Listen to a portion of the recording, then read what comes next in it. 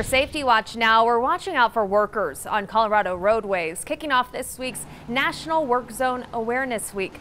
A reminder for all drivers to slow down and pay attention when you're traveling through those construction zones. Colorado Springs Utilities tells us there are far too many deaths in work zones each year because of distracted driving. They're now asking the public to put those distractions away, food, music, and of course the cell phones to prevent more lives from being lost.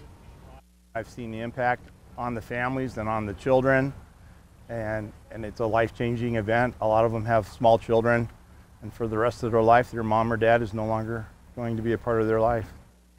Springs Utilities says 15 workers were killed in work zones in Colorado last year alone.